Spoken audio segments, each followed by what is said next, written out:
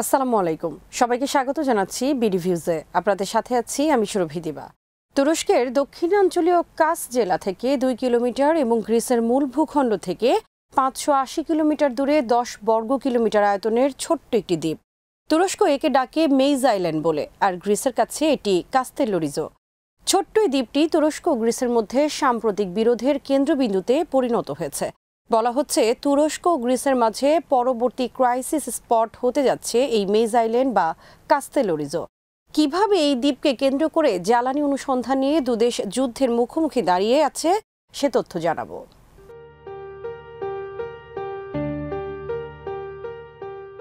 তুরস্কের কাস জেলার সাথে এই দ্বীপে রয়েছে গভীর বন্ধুত্ব ও বাণিজ্যিক সম্পর্ক। এ কারণে দ্বীপটিকে কাস জেলার সিস্টার সিটিও বলা হয়ে থাকে। দ্বীপের বেশিরভাগ বাসিন্দা তুর্কি ভাষায় কথা বলেন।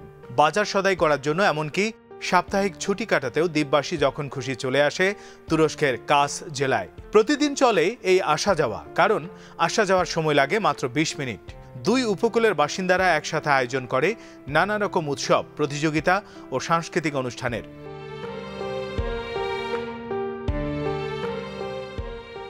তুরস্ক ও গ্রিসের মধ্যে এমনিতেই আঞ্চলিক জলসীমা মহিষোপান এবং সমুদ্র সীমা নিয়ে আরও নানা বিরোধ রয়েছে। এসব বিরোধ মীমাংসায় কোনো কূটনৈতিক উদ্যোগ না থাকায় তা ক্রমেই সামরিক রূপ নিতে যাচ্ছে।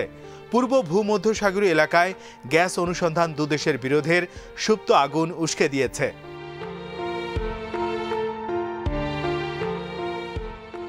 পূর্ব ভূমধ্যসাগরীয় এলাকায় তুরস্কের উপকূলের খুব কাছেই গ্রিসের কিছু দ্বীপ রয়েছে।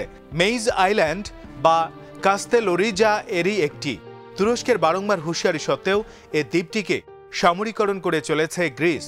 তুরস্ক মনে করে এটা গ্রিসের নতুন ধরনের জলদস্যুতা। কেননা, উনিশশো সাতচল্লিশ সালের প্যারিস শান্তি চুক্তি অনুযায়ী দ্বীপটিকে সামরিকীকরণ নিষিদ্ধ।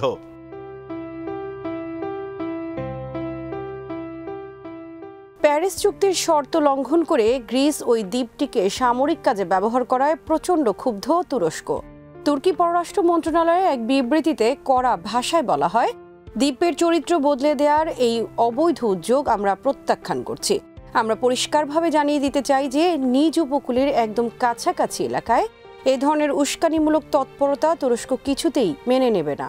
বিবৃতিতে আরও বলা হয়, এ ধরনের উস্কানিমূলক তৎপরতা চালিয়ে গ্রিসের লাভ কিছুই হবে না, বরং এতে তাদেরই ভুগতে হবে বেশি।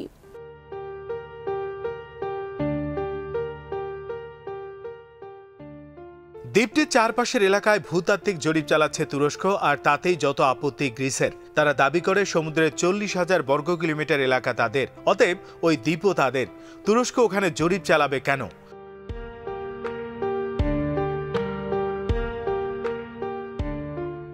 গত পহেলা সেপ্টেম্বর আঙ্কারায় এক সংবাদ সম্মেলনে তুরস্কের পররাষ্ট্রমন্ত্রী সাব জানিয়ে দেন যে, গ্রিসের সম্প্রসারণবাদী দাবি আন্তর্জাতিক আইনের পরিপন্থী।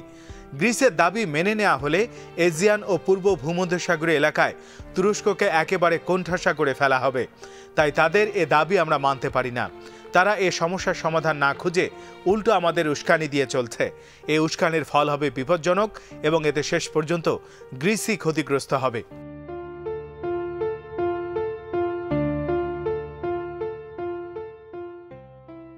আসল কথা হলো দ্বীপটি আয়ত্তে রাখতে পারলে তুরস্ককে পূর্ব ভূমধ্যসাগরীয় এলাকায় ঢুকতে বাধা দেয়া যায়।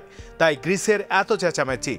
তুরস্ক সরকার জবাবে বারবার বলে এসেছে যে, পূর্ব ভূমধ্যসাগরীয় এলাকায় একের পর এক দখলদারি মনোভাব দেখিয়ে এসেছে গ্রিস। কিন্তু তাতে জরিপ কাজ কখনোই বন্ধ হয়ে যাবে না।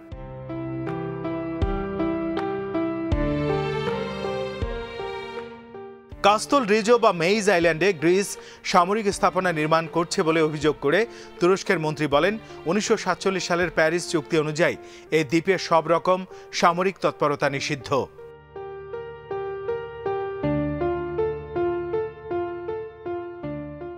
এই অবস্থায় দুদেশের মধ্যে দ্বীপটি নিয়ে তুরস্ক গ্রিসের বিরোধ নিরসনে একবার এগিয়ে আসেন জার্মান কূটনীতিকরা।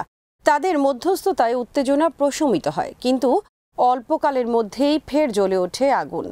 সমুদ্র সীমা চিহ্নিতকরণ নিয়ে মিশরের সাথে গ্রিস একটি চুক্তি করা থেকেই সূত্রপাত নতুন বিরোধের। তুরস্কের মতে, চুক্তিতে তাদের মহিষপান ও নৌসীমা অধিকার লঙ্ঘন করা হয়েছে।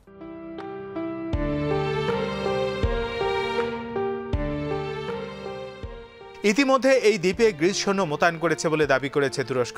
সৈন্যদের চলাচলের কিছু ছবি প্রকাশ করেছে তুরস্কের গণমাধ্যম। গ্রিসের পক্ষে জোরালো সমর্থন দিচ্ছে ফ্রান্স, আরব আমিরাত ও মিশর।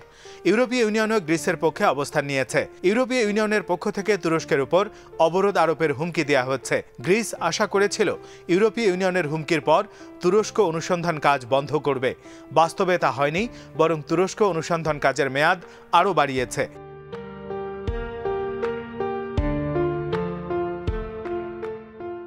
অনেক বিশ্লেষক মনে করেন, তুরস্ক তার অবস্থান থেকে সরে আসবে না। কারণ, গ্রিসের দাবি মেনে নিলে তুরস্ক ভূমধ্য সাগরে প্রবেশের পথ বন্ধ হয়ে যাবে। এছাড়া, সমুদ্র সীমা নিয়ে তুরস্ক ও লিবিয়ার মধ্যে যে চুক্তি হয়েছে, তাও অনেকটা কার্যকারিতা হারাবে। এমন পরিস্থিতিতে ভূমধ্য সাগরের সংঘাত অনেকটা অনিবার্য হয়ে পড়েছে। এক্ষেত্রে আগ্রাসী ভূমিকা নিয়েছে ফ্রান্স। দেশটির বিমানবাহী রণতরী শার্ল দ্য গলকে ভূমধ্য সাগরে যুদ্ধ প্রস্তুতি নিয়ে পাঠানো হয়েছে। এছাড়া আরব আমিরাতের এফ সিক্সটিন যুদ্ধ বিমান গ্রিসের বিমান ঘাঁটিতে অবস্থান করছে। গ্রিসের সামরিক মহড়া এসব যুদ্ধ বিমান অংশ নিয়েছে। ফ্রান্সের অতি আগ্রহের পেছনে রয়েছে অর্থনৈতিক ও ভূ রাজনৈতিক প্রভাব বিস্তারের চেষ্টা। ফ্রান্স ও ইতালির কোম্পানিকে ভূমধ্য সাগরে গ্রিসের দাবি করা এলাকায় তেল গ্যাস অনুসন্ধানের অনুমতি দিয়েছে অ্যাথেন্স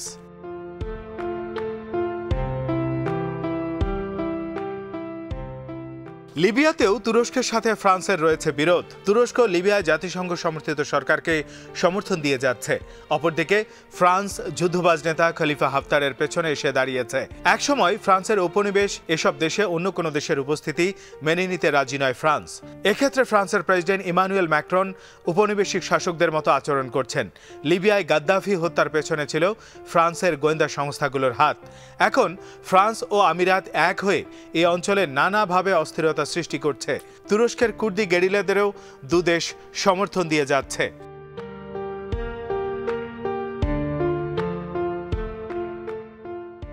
তুরস্ক বলছে, গ্রিস সবসময় পূর্ব ভূমধ্যসাগরীয় এলাকায় সম্প্রসারণবাদী আচরণ করে এসেছে।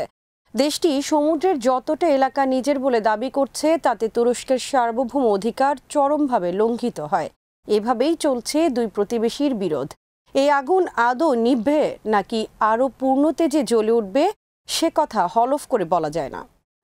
আজ এখানেই শেষ করছি। সবাই ভালো থাকুন, সুস্থ থাকুন আর দেখতে থাকুন বিডি ভিউজ চ্যানেলটি ভালো লাগলে সাবস্ক্রাইব করুন। সংযুক্ত থাকুন আমাদের ফেসবুক পেজে আমাদের website bdviews dot net visit করুন। আল্লাহ হাফেজ।